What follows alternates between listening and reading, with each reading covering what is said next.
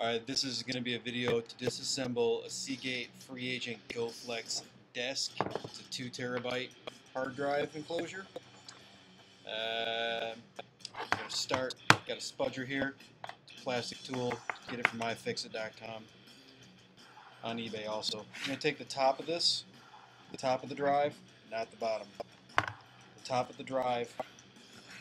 You can also use a screwdriver if you're careful. Just kind of put it in there, and it will pop off. You won't break any clips.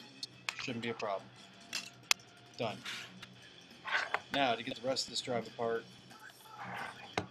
one side separates from the other. You need to find which side that is. So, we're not going to start prying at the top. We're going to start prying it either side, not the bottom. Either side.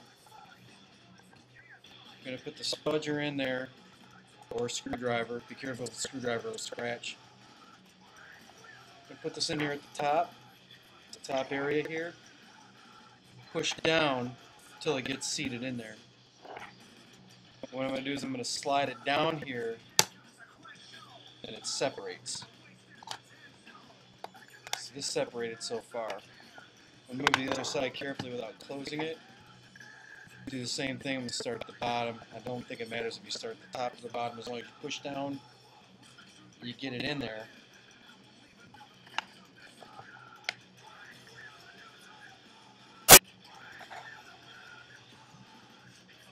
There, it's in there. Just slide it down.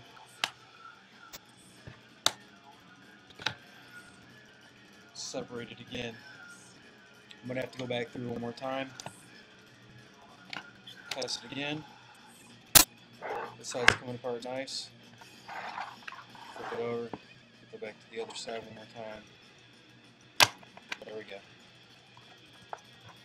Some other guy had a video on YouTube and it doesn't show you anything like that. It shows you how to pop the top off and then that's the end of the video.